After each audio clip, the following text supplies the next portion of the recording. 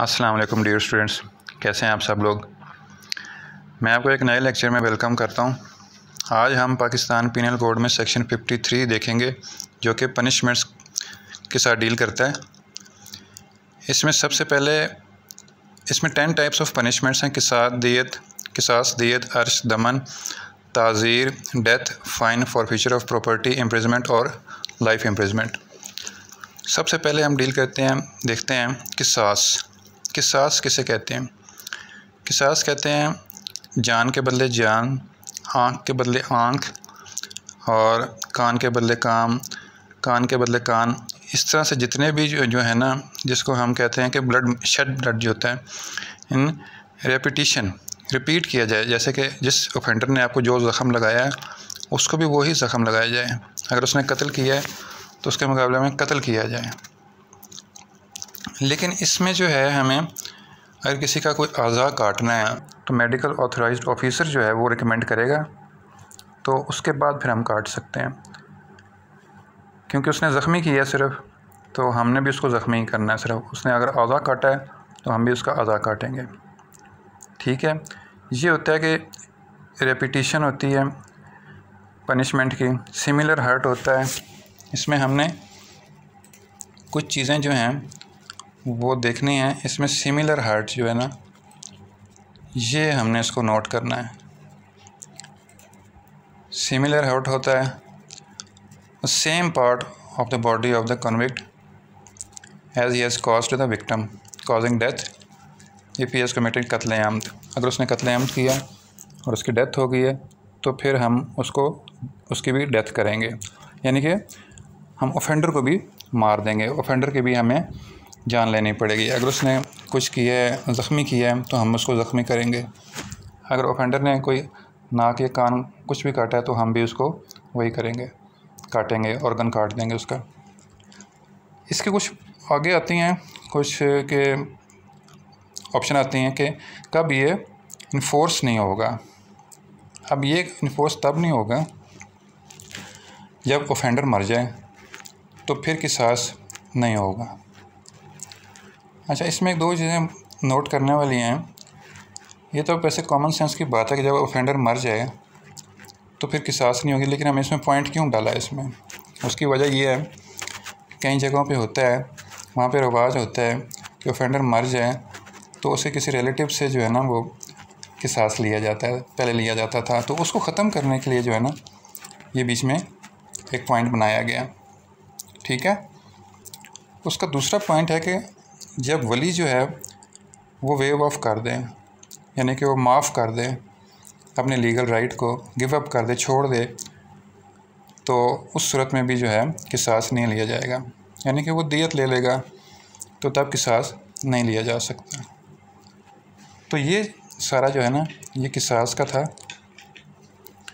जितना भी था इसमें। उसके बाद आता है दियत।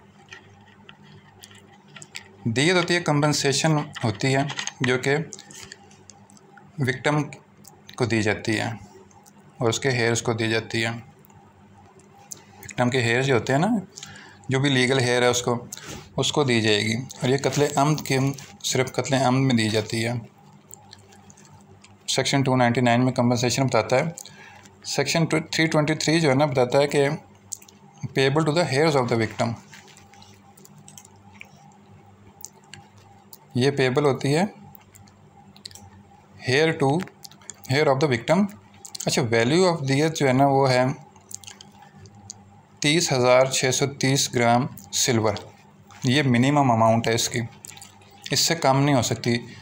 इसको ये कह सकते हैं हम कि आजकल के ज़माने में तीस हज़ार छः सौ तीस ग्राम जो सिल्वर है उसकी क्या प्राइस है? तो वो जो प्राइस होगी वो दियत फ़िक्स की जाएगी।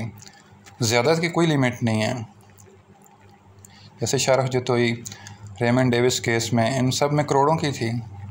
बीस करोड़, दस करोड़, ज़्यादा की अरबों, खरबों, जितनी मर्ज़ी हो जाए, ज़्यादा की कोई लिमिट नहीं है दियत में। मगर कम से कम तीस हज़ार छः सौ तीस ग्राम सिल्वर होनी चाहिए। ये कुरान सुन्ना के मुताबिक है और इसमें फाइनेंशियल कंडीशन ऑफ़ जो है ना कन्विक्ट जो है ना, और जो ऑफेंडर होता है, उन दोनों की फाइनेंशियल कंडीशन भी देखी जाती है।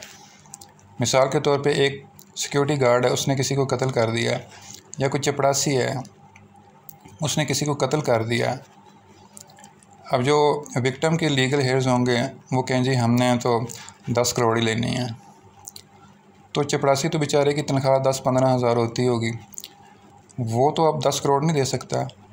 तो इसलिए जो है ना, हमें ऑफेंडर की और विक्टम की दोनों की फाइनेंशियल कंडीशन देख के दियत फ़िक्स करनी चाहिए और फिक्स करनी पड़ती है और फिक्स करते हैं कोर्ट क्योंकि इसके बगैर कुछ हो नहीं सकता, क्योंकि अगर विक्टम भी जो है, वो भी गरीब है और जिसने कत्ल किया वो अमीर है, वो अगर बिज़नेस है, उसका करोड़ों का बिज़नेस है तो वो तीस हज़ार छः सौ तीस ग्राम चांदी तो नहीं देगा।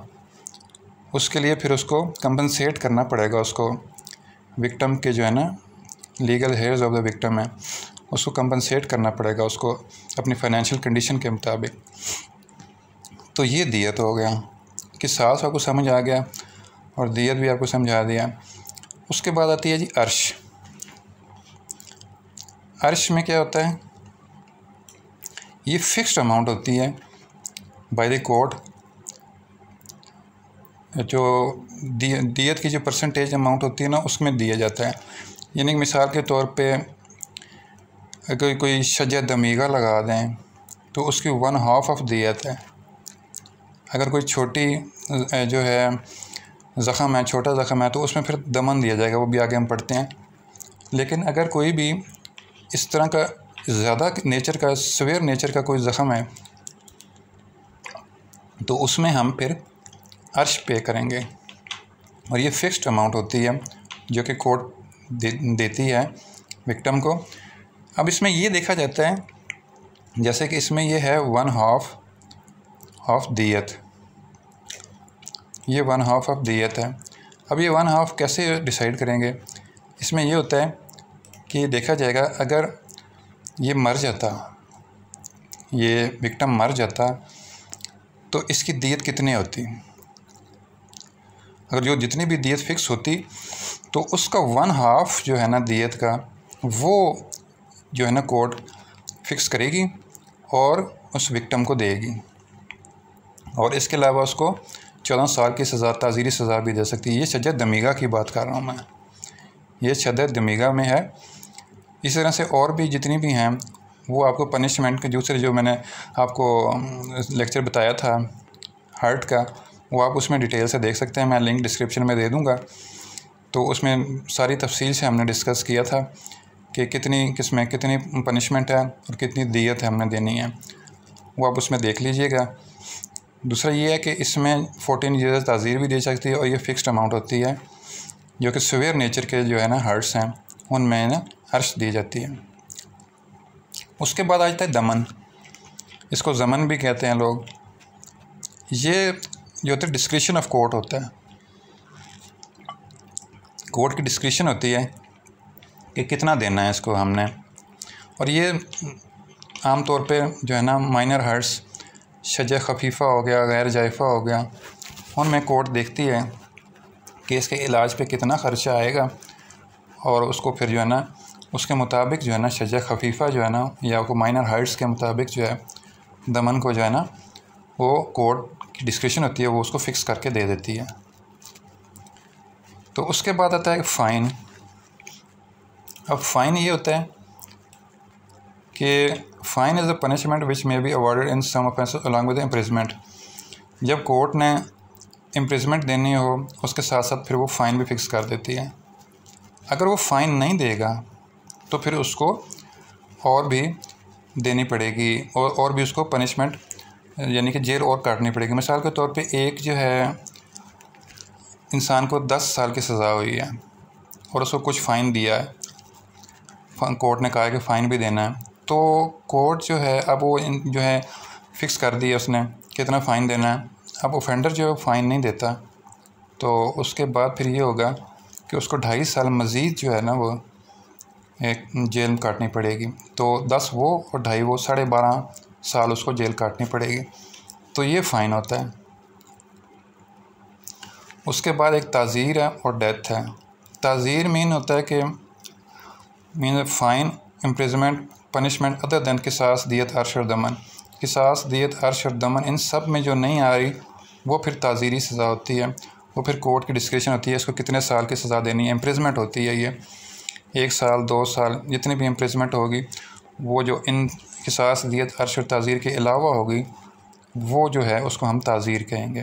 किसास दियत अर्श और दमन के अलावा जो होगी, उसको हम ताज़ीर कहेंगे। और ये कोर्ट पे डिपेंड करता है कि उसको कितनी सज़ा देनी है। उसके बाद एक और सज़ा है डेथ।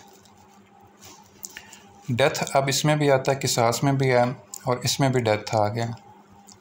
अब ये चीज़ आपको नोट करनी चाहिए कि ये जो डेथ है ये और डेथ है। इसका मतलब ये है कि ये किसास जो है ना, ये सिर्फ़ जान के बदले था। जबकि ये डेथ जो है, ये किसी और जुर्म में भी दी जा सकती है। मिसाल के तौर पे जो है ऑफेंसेस अगेंस्ट स्टेट होते हैं वेजिंग वॉर 121 हाई जैकिंग और इस तरह से और मर्डर हो गया। 302 में। इसमें जो है ना, हम डेथ दे सकते हैं। रेप में भी डेथ होती है। लेकिन कि सांस वाली डेथ जो है ना, वो सिर्फ़ और सिर्फ़ जान के बदले जान वाली होगी। ये सिर्फ़ जान के बदले जान वाली होगी।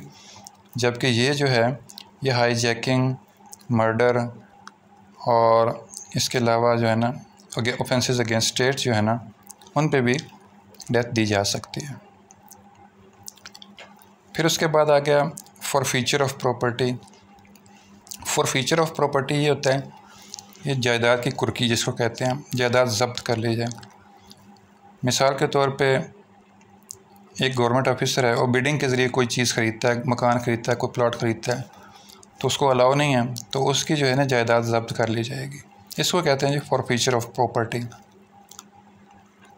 ठीक है? उसके बाद इम्प्रिजमेंट लाइफ फॉर लाइफ है और सिंपल इम्प्रिजमेंट है। इम्प्रिजमेंट फॉर लाइफ में पच्चीस साल तक सज़ा होती है। पच्चीस साल होती है सज़ा इसमें। ये होती है सडिशन पे हो जाती है बगावत में और जो है काउंटर फिटिंग में। मतलब हो बहू जेल साजी करने में जो होती है, उसमें हम इसको इम्प्रिजमेंट फॉर लाइफ होती है। इम्प्रिजमेंट फॉर लाइफ पच्चीस साल तक होती है सडिशन और काउंटर फिटिंग में। सडिशन जो है ना चैप्टर जो है one twenty four A P P C और counterfeiting two thirty two इसमें जो है इम्प्रिजमेंट फॉर लाइफ होती है। इसमें से और भी काफ़ी सारे हैं। जब जो है डेथ ना हो सके मतलब डेथ जो है सेंटेंस जो है वो, जैसे कि हम कम्यूट कर देते हैं इम्प्रिजमेंट को लाइफ में कर देते हैं डेथ को हम इम्प्रिजमेंट फॉर लाइफ में कर देते हैं इम्प्रिजमेंट फॉर लाइफ को हम इम्प्रिजमेंट में कर देते हैं। तो वो भी है, उसमें भी इम्प्रिजमेंट फॉर लाइफ हो सकती है। जिस तरह, ये डिफरेंट सिचुएशन होती हैं स्नैरियो जो डेवलप होते हैं कि इम्प्रिजमेंट फॉर लाइफ कब हो सकती है, और ये कम भी हो सकती है। पच्चीस साल है, लेकिन ये एक दिन, पूरा दिन, पूरा रात मिला के एक पूरा दिन ही बनता है, वही पच्चीस साल होगा। लेकिन अक्सर जेल खाना जात में जब जो भी है विज़िट करता है कोई वज़ीर तो कम हो जाती है। ईद हॉलीडेज़ पे कुछ कम हो जाती है। ये कम होते होते आलमोस्ट जो है तेरह, चौदह साल, बारह से चौदह साल तक जो है ना इम्प्रेजमेंट फॉर लाइफ ख़त्म हो जाती है। पच्चीस साल तक नहीं होती नॉर्मली ठीक है? उसके बाद आता है जी सिंपल इम्प्रिजमेंट अब सिंपल इम्प्रिजमेंट जो है, वो ये है कि शादी जो है, जिसको हम कहेंगे सज़ा।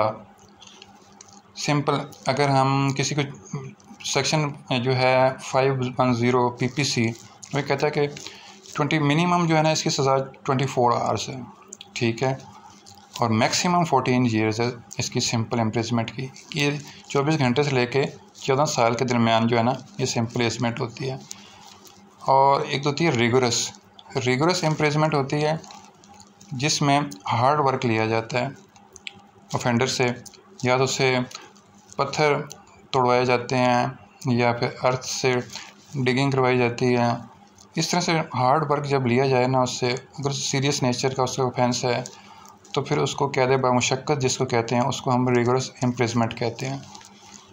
तो वो रिगरस इम्प्रिजमेंट जो है, वो ऑफेंडर से करवाई जाती है। तो ये दस जो हैं पनिशमेंट्स हैं, जो कि पाकिस्तान पीनल कोड के सेक्शन 53 में बयान की गई हैं, कि सास, मैंने बताया आपको ये है शेड ब्लड। आँख के बदले आँख, जान के बदले जान। और ये कब इन्फोर्स नहीं होगा जब डेथ हो जाए ऑफेंडर की, या जो है लीगल राइट जो है ना, बली का जो है वो वेव ऑफ़ कर दे। तो एक किसास फिर नहीं दी फिर नहीं होगी। उसके बाद दियत हमने पढ़ा ये दियत जो है ना कंपनसेशन होती है तीस हज़ार छः सौ तीस ग्राम सिल्वर, जो आज की वैल्यू होगी, उसके हिसाब से देखा जाएगा। और ये कंडीशन देखा जाएगा कि जो है विक्टम की और ऑफेंडर की माली कंडीशन कैसी है, उसके मुताबिक फ़िक्स किया जाएगा। कत्ल अम में दिया जाता है। अर्श में जो है वन हाफ़ ऑफ़ दियत मैंने बताया आपको कि परसेंटेज फ़िक्स्ड अमाउंट होती है, जो कि दी जाती है विक्टम को। और ये देखा जाता है उसमें कि अगर ये इसकी डेथ हो जाती तो कितनी दियत होती, उसका फिर वन हाफ़ जो है ना, वो उसको दिया जाएगा। उसके बाद दमन आया। दमन में ये है कि ये डिस्क्रिप्शन ऑफ़ द कोर्ट होती है। कोर्ट ने देखना होता है। जैसे शब शज खफीफ़ा है माइनर हर्ट्स में। अर्श जो है ये मेजर हर्ट्स में और दमन माइनर हर्ट्स में दी जाती है और ये कोर्ट के डिस्क्रिप्शन पे होती है कि हमने कोर्ट ने कितनी फ़िक्स करनी है। उसके बाद फ़ाइन देखा हमने। इम्प्रेजमेंट के साथ साथ फ़ाइन दिया जाता है। और इम्प्रेजमेंट फॉर लाइफ पच्चीस साल तक दी जाती है सडिशन काउंटर फिटिंग में। सिंपल इम्प्रेजमेंट में हमने देखा कि चौबीस घंटे से लेकर चौदह साल तक होती है और रिगरस इम्प्रेजमेंट में जो है ना, उसको हार्ड वर्क करवाया जाता है। ताज़ीरी होती है जो इम्प्रेजमेंट होती है, जो किसास दियत अर्श और दमन में ना आ रही हो, उसको हम ताज़ीर कहेंगे। डेथ में हमने देखा हाई जैकिंग मर्डर और इस तरह से जो है ना, दूसरे वेजिंग वॉर अगेंस्ट स्टेट जो है ना, पाकिस्तान के ख़िलाफ़ जो है ना, उनमें डेथ दी जा सकती है। और फॉर फीचर ऑफ़ प्रॉपर्टी जो है, जायदाद की जब्ती जो है, एक गवर्नमेंट सर्वेंट है, उसने अगर बिडिंग के ज़रिए को चीज़ ख़रीदी है तो वो फॉर फीचर ऑफ़ प्रॉपर्टी उसकी जायदाद जब्त कर ली जाएगी। तो ये सारी इसकी पनिशमेंट्स हैं। उम्मीद है आप लोगों को समझ आ गया होगा। फिर भी अगर कोई क्वेश्चन है तो आप कमेंट में मेरे से पूछ सकते हैं। और कोई भी किसी किस्म की भी अगर आपको लॉ में कोई प्रॉब्लम है तो आप मुझे बता सकते हैं। मैं आपको उसमें वीडियो बना कर बताऊँगा आपको डिटेल से बताऊँगा। तो मिलते हैं फिर इन नेक्स्ट लेक्चर में। तब तक के लिए अल्लाह हाफिज़।